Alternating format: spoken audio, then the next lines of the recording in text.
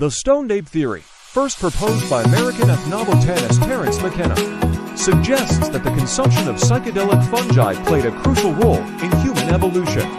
While the theory has been widely criticized by the scientific community, it has gained attention in popular culture, notably through discussions on the Joe Rogan Experience podcast.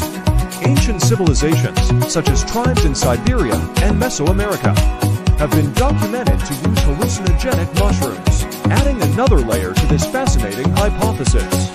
Could the stoned ape theory hold some truth, or is it merely a product of psychedelic imagination?